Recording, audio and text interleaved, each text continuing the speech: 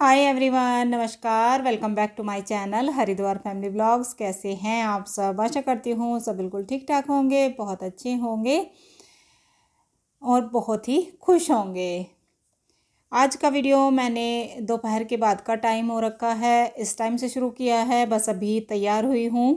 वैसे तो आज मेरा मन नहीं था रिकॉर्ड करने का कुछ भी, क्योंकि आज तबीयत थोड़ी सी ढीली थी और जब तबीयत ढीली होती है ना तो फिर आपको पता ही है कैसा लगता है। लेकिन अब थोड़ा ठीक लग रहा है, उठी हूँ, सारा काम किया है।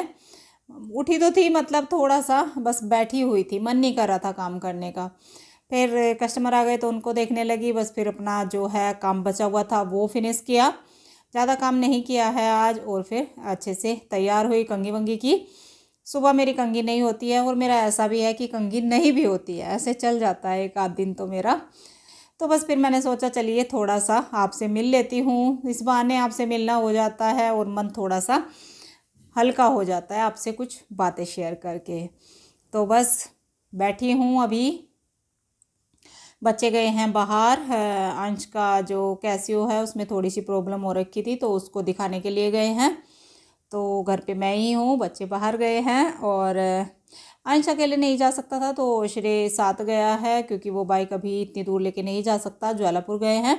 तो दोनों भाई गए हैं और पापा से पूछ लिया था इन्होंने तो पापा इनके बोलने लगे कि चले जाना, क्योंकि इनको टाइम होता नहीं है, संडे में टाइम पता नहीं मिले, ना मिले तो वो आज दोनों चले गए हैं। और मेरा थोड़ा सा मावा बचा हुआ रखा है, क्योंकि घर से मावा आता है तो काफ़ी सारा आता है, बहुत सारा तो उसमें से कुछ बचा हुआ है। हालाँकि अभी हलवा ख़त्म नहीं हुआ, लेकिन मा, जो मावा है ना, वो बचा रखा है।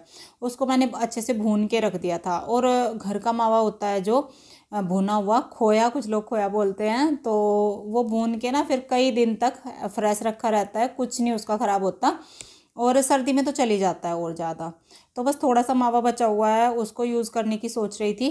और हलवा तो बना ही लिया था, हलवा तो बोर नहीं बनाऊँगी क्योंकि अभी तक वही चल रहा है। और आज मैं आपके साथ शेयर करूँगी गाजर की बर्फ़ी। क्योंकि सीज़न गाजर का चल रहा है तो गाजर की बर्फ़ी क्यों ना हो जाए। तो लौकी की बर्फ़ी हम गर्मी में बनाते हैं तो अब सर्दियाँ हैं तो विंटर स्पेशल आज हम गाजर की बर्फ़ी बनाएँगे खोए के साथ। मावे के साथ। जो तिल मावा के लड्डू थे, वो भी मैंने बना लिए। अब मकर संक्रांति आएगी, मकर संक्रांति पे बनेंगे तिल के और गुड़ के लड्डू। तो बस, मैंने सोचा चलिए इसको हम यूज़ कर लेते हैं।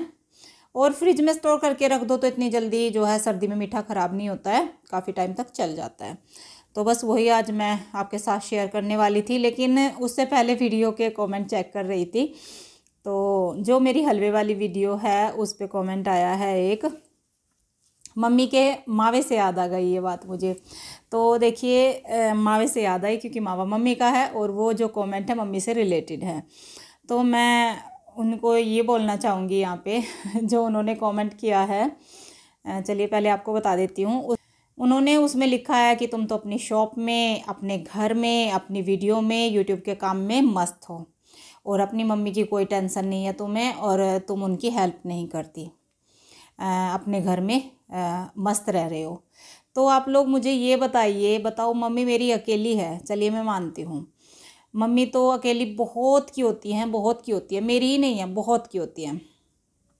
पर चलिए मैं मानती हूँ मेरी मम्मी के पास बच्चे हैं, और बच्चे बड़े हो रखे हैं। इतने छोटे बच्चे नहीं हैं, मेरे बच्चे जैसे हैं, वे भी इतने बड़े बच्चे हैं। तो उन्होंने बोला है कि, मम्मी की हेल्प नहीं करती, तुम बच्चों से वहाँ काम कराती हो, तुम आराम करती हो। मुझे हँसी भी आ रही है। और मेरे जितना काम मायके में जाके शायद ही कोई लड़की करती हो, जितना मैं करती हूँ। तो अगर मैं वहाँ भी जाके आपको झाड़ू पोछा बर्तन दिखाऊँ तो उससे क्या होगा? आप क्या बोलोगे? अरे, यहाँ भी ये झाड़ू पोछा ही दिखाती है और वहाँ पे भी झाड़ू पोछा ही दिखाती है। और जबकि मम्मी के यहाँ हेल्पर है तो झाड़ू पोछा, बर्तन वो मम्मी को नहीं करना पड़ता तो मैं क्यों करूँ बताओ जाके? मैं क्यों करूँगी? तो कोई भी नहीं करेगा। जब हेल्पर लगी हुई है इस काम के लिए तो उन्होंने ये बोला है कि तुम मस्त हो, बच्चों का ध्यान नहीं रखते, मम्मी का ध्यान नहीं रखते। तो बस ऐसी ऐसी बातें उन्होंने कुछ लिखी हुई हैं उसमें तो मुझे उस कमेंट को पढ़ के ना हँसी भी आ रही थी।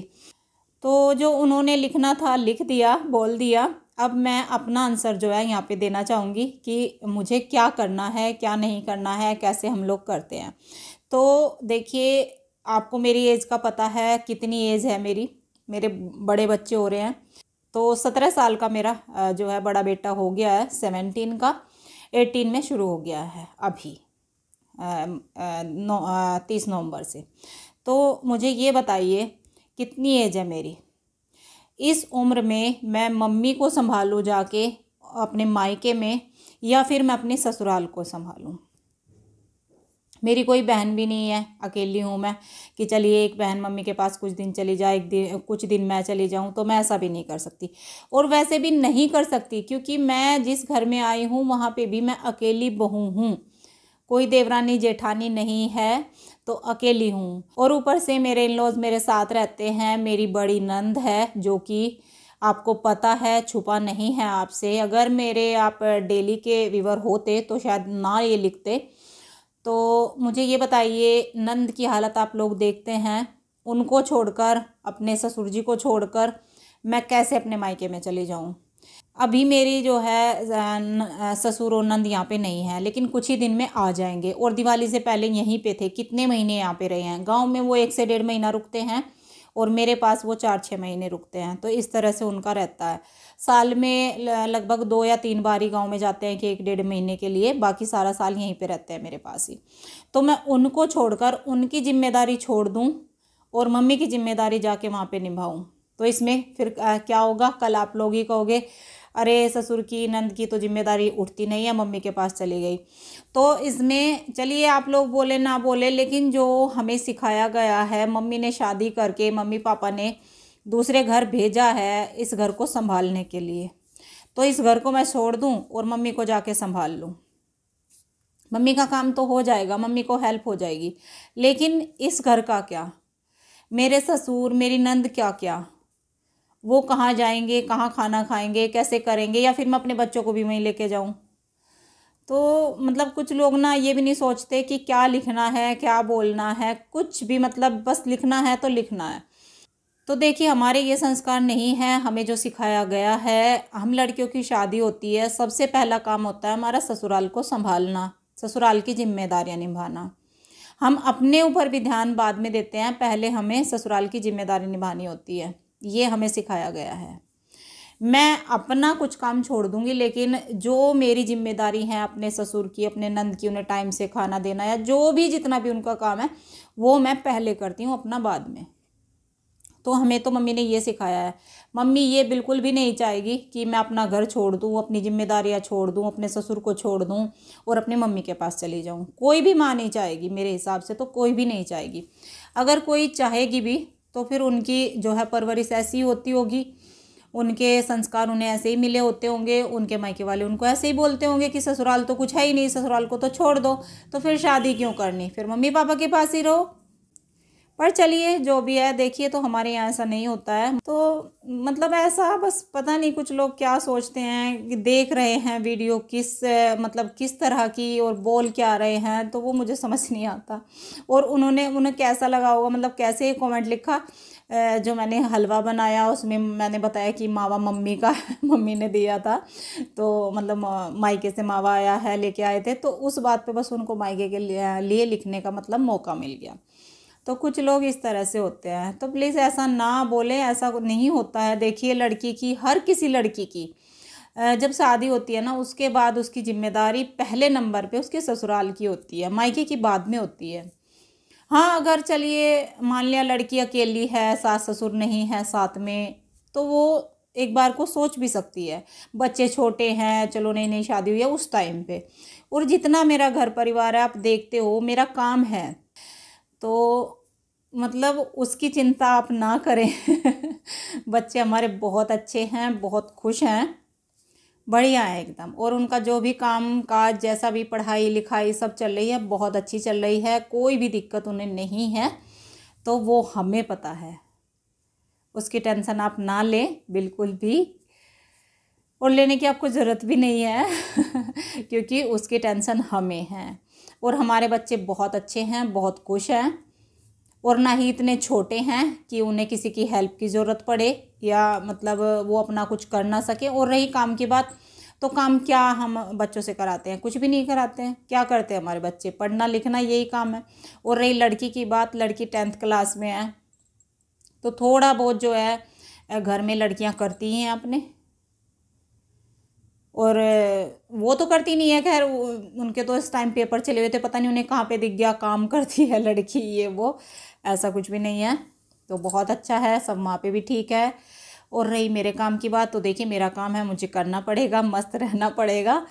तो सबको अपने काम में मस्त रहना पड़ता है। बिना मस्ती के काम होता नहीं अगर काम में मस्त ना हुए तो फिर तो मन नहीं लगता। जैसे कि मेरा सुबह से मन नहीं लग रहा था तो मैं काम नहीं कर रही थी। तो ऐसे काम नहीं चलता है। तो चलिए बातें देखिए, आज कितनी हो गई? पूरी वीडियो जो है, आज बातों में ही ख़त्म हो गई। और हाँ देखिए, आज मैंने ये वाला सूट पहना है, जो मैंने अपने स्टॉक से बनवाया था अभी। आज मैंने दूसरी बार ये पहना है और आपको इसको मैं दिखाऊँगी अभी कि ये कैसा लग रहा है। तो चलिए, पहले मैं आपको अपना सूट दिखा देती हूँ और फिर चलते हैं किचन में और बनाएँगे गाजर की बर्फ़ी, क्योंकि मावा बचा हुआ है तो वो तो बनाने ही है। चलिए।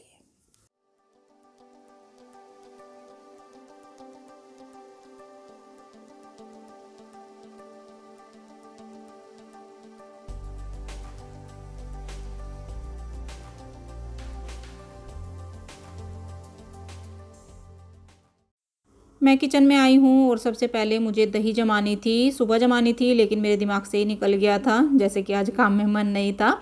तो बस दूध बचा हुआ था। डेली मैं दही नहीं जमाती हूँ आजकल सर्दी में। एक तो इतनी दही लगती नहीं है और फिर चाहिए भी तो मार्केट से आ जाती है। लेकिन आज दूध बचा हुआ था तो मैं इसको गर्म होने के लिए यहाँ पे रख दिया था और इसको मैं जामन लगाऊँगी। तो चेक कर लिया है, बहुत ज़्यादा गर्म भी नहीं है, बहुत ज़्यादा ठंडा भी नहीं है। और ये है रेडीमेड दही जो ये वाली आती है अमूल की आती है, आनंदा की आती है तो ये आनंदा की दही है, बहुत ही अच्छी थिक दही होती है और बहुत ही अच्छा खट्टा मीठा इसका टेस्ट होता है। तो इसकी मैंने दो चम्मच डाल दी हैं इसमें। और इसको ऐसे फेंट लूँगी या तो फिर आप दूसरे बर्तन बर्तन में लेके ऊपर नीचे जैसे उछालते हैं तो इस तरह से कर सकते हैं। तो मैंने दूसरा बर्तन नहीं किया, इससे ही इसको कर दिया है थोड़ा सा फेंट लिया है, इससे दही हमारी थिक जमती है, बहुत अच्छा एक जैसा जामन लगता है। और देखिए, सर्दी का, दही जमाने का जो सीक्रेट होता है, कई बार होता है कि सर्दी में हमारी दही नहीं जमती तो इस तरह से मैंने अपना शॉल लिया है ये और गर्म है। और फोल्ड पे ही धुला हुआ है, साफ़ है। तो एक साफ़ कपड़ा इस तरह से बना लें या फिर एक बात और है, आप आटे की जो है डब्बा होता है उसमें रख सकते हैं। तो मैंने यहाँ पे आटे के डब्बे में तो नहीं रखा तो इस तरह से इसको पूरा कवर कर दिया है और ऊपर से ढक दिया है। तो तीन घंटे में हमारी दही इस तरह से बहुत ही अच्छी जमती है और ये तरीका गाँव का है। जैसे गाँव में हंडी में दही जमाई जाती है ना तो मम्मी इसी तरह से एक गर्म कपड़ा बना के रखती हैं दही जमाने का। तो उसको इस तरह से कपड़े में लपेट देती हैं तो फिर उसमें गर्माहट बनी रहती है। और मसालादानी मैंने आज साफ़ की थी, खाली हो रही थी तो इसको मैंने मांझ दिया था अच्छे से और सुखा लिया है धूप में तो इसमें मैं अपने मसाले भर रही हूँ यहाँ पे। तो काम तो कुछ ना कुछ निकले ही रहते हैं, काम करने के लिए बहुत होते हैं तो यहाँ पे मैं मसाला भी भर लूँगी और फिर लगेंगे अपने दूसरे काम पे। तो मसाला मैंने भर दिया है और बहुत ज़्यादा मसाले मैं इसमें नहीं रखती हूँ। नॉर्मल जो डेली के मसाले होते हैं, वो ही मैं रूटीन के रखती हूँ उसमें जैसे नमक हो गया, गरम मसाला हो गया और बहुत से मसाले हैं जो हमें चाहिए हैं तो वो मैं अलग छोटे छोटे डब्बों में रखती हूँ। तो मसालादानी तो हो गई है तैयार। अब कर लेते हैं हम अपनी गाजर की तैयारी। और यहाँ पे मैंने गाजर ग्रेट कर ली हैं और मैंने नहीं किए हैं स्टेने की हैं। मैंने पील करके दे दी थी उसको, छील लिया था अच्छे से और धुल के पहले ही सुखा ली थी। तो एक किलो गाजर ली हैं ये, जिनको ग्रेट कर लिया है। और वेट के हिसाब से ही बोल रही हूँ, मैंने यहाँ पे करीब तीन पाव इसमें चीनी ली होगी मतलब पौना किलो। तो इतनी चीनी ली है और चीनी आप कम ज़्यादा कर सकते हैं। लेकिन मैंने इतनी ली है, ज़्यादा लेंगे चीनी तो हमारी बहुत ही कड़क वाली बर्फ़ी बनेगी और कम चीनी लेंगे तो वो नरम वाली बनेगी। मेरी बर्फ़ी भी नरम वाली ही बनने वाली हैं क्योंकि उसमें मीठा फिर हमें डबल चाहिए होता है जब जाके गाँव वाली कड़क बर्फ़ी बनती हैं। तो ये नरम वाली ही बर्फ़ी की रेसिपी है। और देखिए, मीडियम आँच पे चीनी मेल्ट हो गई है और अब आँच हमें जो है तेज़ कर देनी है, फुल फ्लेम कर देनी है, जब तक ये गाजर गलेंगी और इसका पानी जो है ये सूख जाएगा। तो बस इसको बीच बीच में चलाते रहना है और देखिए, पानी कुछ कुछ सूखने लगा है, लेकिन अभी इसमें पानी दिखाई दे रहा है। और गाजर का पानी सूखने में या फिर लौकी ले लीजिए तो इसमें टाइम तो लगता है। और बिल्कुल हलवे जैसे ही है, लेकिन इंग्रेडिएंट्स थोड़े से कम पड़ेंगे, इसमें घी नहीं है और इसमें कोई ड्राई फ्रूट भी मैं यूज़ नहीं करूँगी। तो सिंपल गाजर है, चीनी है, पानी का यूज़ इसमें बिल्कुल भी नहीं किया है। तो बस चलाते हुए आप देख सकते हैं कलर इसका बहुत ही डार्क हो गया है। और गाजर बिल्कुल गल चुकी हैं सॉफ्ट हो गई हैं। अब मैं इसमें डाल दूँगी यहाँ पे थोड़ा सा इलायची पाउडर, अगर आपको पसंद है तो डाल लें, नहीं तो स्किप कर दें। और चला रही हूँ अभी अभी भी मुझे इसमें थोड़ा सा मॉइस्चर दिखाई दे रहा है तो बिल्कुल इसको थिक करना है हमें और थिक होने के बाद इसमें मैं डाल दूँगी मावा। और मावा मैंने लिया है हाफ़ के जी हाफ़ के जी मावा मेरे पास बचा हुआ था। तो वो मैं इसमें सारा डाल दूँगी। तो देखिए टेक्सचर देख लीजिए, इस तरह की होनी है इसकी कंसिस्टेंसी जब हम इसमें मावा ऐड करेंगे। जब हम कड़छी पे लें तो इसको गिरना नहीं चाहिए कि पानी अलग हो गया और गाजर अलग होगी तो ऐसे में फिर ये उठेंगी नहीं बर्फ़ी हमारी। तो इसको अच्छे से थिक कर लेना है और मावा मैंने डाल दिया है, फिर इसे पहले निकाल के रख दिया था और थोड़ा सा मैंने बचाया था थोड़ा सा पहले डाल दिया था। तो पूरा मावा मैंने इसमें हाफ़ के जी डाला है 500 ग्राम। तो इतना मावा मैंने इसमें डाल दिया है। और मावा थोड़ा सा ज़्यादा ही है, आप चाहें तो इससे थोड़ा कम भी डाल सकते हैं। लेकिन फिर वही है टेस्ट इतना अच्छा नहीं आएगा। तो इसमें थोड़ा सा जो है, उठने में टाइम लगता है क्योंकि मावा ज़्यादा है और चीनी कम है। मावा डालने के बाद भी मैंने इसको दो तीन मिनट के लिए भूना है। मीडियम आँच पे तेज़ आँच नहीं करनी है इस टाइम पे, नहीं तो नीचे से मावा जो है जलने लगेगा। और भूनना बहुत ज़रूरी है। अगर मावा डालते ही कर देंगे इस तरह बर्तन में डाल देंगे तो फिर वो उठेगी नहीं। तो परात ली है मैंने छोटे वाली और इसमें घी लगा लिया है अच्छे से और फिर इसका जो है मिक्सचर इसमें डाल दिया है। और आप चाहें तो इसको और भी ज़्यादा भून सकते हैं लेकिन फिर क्या होगा, इसको हमें फैलाना पड़ेगा या तो फिर हाथ से या फिर इस स्पैचुला से। तो मैंने ऐसे ही इसको, देखिए थोड़ा सा नरम था फैला दिया है और इसमें फिर डाल दिया है मैंने नारियल का बुरादा ऊपर डेकोरेशन के लिए। और टेस्ट भी अच्छा आएगा, क्योंकि इसमें कोई ड्राई फ्रूट मैंने यूज़ नहीं किया है। और अब इसको रख दूँगी मैं ठंडा होने के लिए नॉर्मल टेम्परेचर पे। तो देखिए अब मैं आपसे मिल रही हूँ, तीन साढ़े तीन घंटे हो गए हैं तो दही हमारी आप देख सकते हैं, बहुत ही अच्छी सी जम गई है और बहुत ही बढ़िया थिक सी दही जम के तैयार हुई है। अब मैं इसको सारी को अच्छे से मिक्स कर दूँगी ऊपर नीचे, नहीं तो फिर जैसे ही एक कड़छी उठाई है तो थोड़ा बहुत इसमें पानी आ जाता है। क्योंकि मेरा नॉर्मल ही दूध था, ऐसा कोई नहीं था कि अलग से मैंने इसको कढ़ाया था। तो दही तो बहुत ही अच्छी जमी है। तो इस तरह से अगर आप दही जमाएँगे तो कभी ये नहीं होगा कि आज हमारी दही नहीं जमी है सर्दी में भी इस तरह से कवर करके। और बस यहाँ पे साढ़े तीन घंटे लगभग इसको भी मेरे हो चुके हैं। तो अब मैं ये बर्फ़ी काट रही हूँ। लेट हो चुका है, उस बीच में शाम का खाना वगैरह हो चुका है, लेकिन इसी वीडियो में मुझे ये क्लिप लेनी थी। तो बाद में मैं इसको काट रही हूँ और देखिए यहाँ पे अब मैं इसको उठा के आपको दिखाऊँगी। मैंने जैसे कि बोला है, नरम वाली बर्फ़ी हैं, बहुत ज़्यादा कड़क वाली नहीं बनती हैं ये। और थोड़ा सा मुझे उठाने में दिक्कत हो रही थी, फिर मैंने जो है परात को नीचे से थोड़ा सा गर्म कर लिया है, क्योंकि जो घी है, मावा है, जम जाता है। तो बस उसी के लिए मैंने गर्म कर लिया है और आप देख सकते हैं बर्फ़ी हमारी बहुत ही अच्छे से निकल रही है। तो देखिए, बर्फ़ी मैंने सारी निकाल दी हैं और प्लेट में लगा दी हैं और कलर बहुत ही अच्छा आया है बर्फ़ी के ऊपर और ऊपर से जो है नारियल का बुरादा। तो फ्लेवर भी बहुत ही अच्छा है, कलर भी बहुत ही अच्छा है और टेस्ट की तो पूछिए मत। तो बिना किसी देरी के बना लीजिए गाजर की बर्फ़ी, सर्दी स्पेशल और फिर मज़ा लीजिए। हलवे से थोड़ा सा टेस्ट अलग होता है, जैसे हमारी लौकी की बर्फ़ी होती है सेम उसी तरह से होती है, लेकिन उसमें फ्लेवर जो है लौकी का आएगा और इसमें गाजर का आएगा। अब करूँगी इस वीडियो का यहीं पे एंड अगर आपको वीडियो कहीं भी कुछ भी इसमें पसंद आया हो तो वीडियो को लाइक ज़रूर दे दीजिएगा। प्लीज़ प्लीज़ लाइक कर दीजिएगा, क्योंकि आप लाइक नहीं करते हो। और चैनल पे नए हैं सब्सक्राइब कर दीजिएगा। अब मिलूँगी कल आपसे एक नई वीडियो के साथ। तब तक के लिए bye bye thank you for watching